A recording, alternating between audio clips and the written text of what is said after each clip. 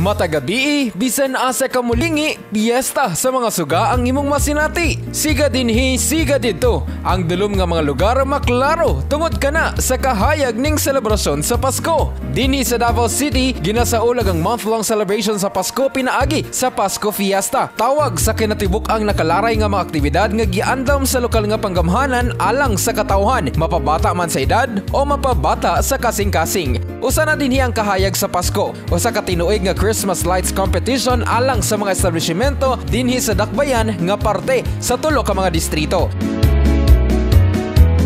Sa dalang Archaga ning syudad, mi partisipar ning usa ka hotel diin mabati nimo ang kabugnaw gumikan sa ilang Winter Wonderland theme design. Adunay snowman, nagbitay nga mga snowflakes. Ingon man ang dominant color white Christmas lights. Kining atraksyon sa may dalang Ar Castillo Agdao naglahi gumikan sa Underwater Wonderland theme diin makita nimo ang mga innovation nga gama sa robotics nga mga hayop sama sa seahorses, turtles, dolphins ug uban pa. Gani pwede kayo ninyong dalaon inyong mga chikiting kay siguradong malingaw gayon sila. Pwede usab kang mag-alapirata gumikan sa dakong pirate ship nga gimontar sab sa sulod sa mong lugar. Din abri kini alas 6 hangtod alas 10 sa gabi ug libre ang entrance fee. Sa damo sa adunay dakong arko nga puno og puti nga Christmas lights din makita ang dagkong disenyo sa snowflakes ingon man sa Candyland theme. Perfect kini pang selfie o groovy sa barkada o pamilya dayon mutupad sa giant size polar bear o snowman ingon man sa life-size Santa Sleigh. Sa southbound area, agaw pansin ang gimontar nga mga disenyo sa mga plantasyon sama sa ulas area nga magapalong siga nga exaggerated snowman nga gamausab sa Christmas lights nga nahimutang sa North Pole area.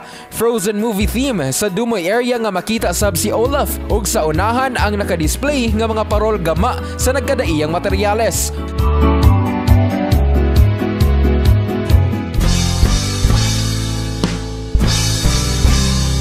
Samtang sa imong biyahe sa kadalanan dinhi sa Dakbayan, makatutok gayud ka sa snowflake-shaped lanterns sa Center Island. Din atong nasayran nga gama kini sa mga inmates sa Davao City Jail.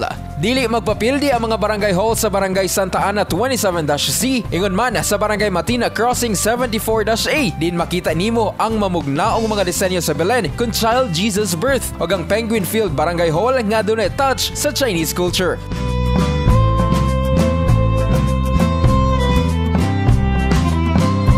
Speaking of barangay, adunay pa contest ang City Government of Davao nga gisalmutan sa mga katawhan nga mao ang parol sa mga barangay. Diin tanan mga barangay dinhi sa syudad nagpabunggahay sa mga parol nga naka-display diha sa may Marfori Botanical Garden.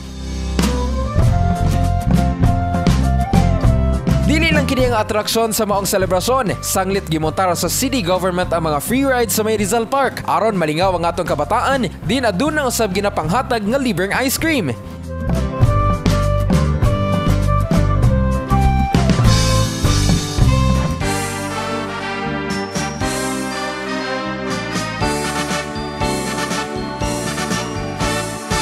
Gani, bisan mapalokal man o langyaw nga mobisita sa Dakbayan, makabati kini og paglaom og kalipay tungod sa kahayag nga dala sa mga suga sa Pasko. Diin kini mirepresenta sa kinaiya sa mga Dabawenyo nunot sa bisan unsa man kadagom og kapait nga nasinatian ni ini.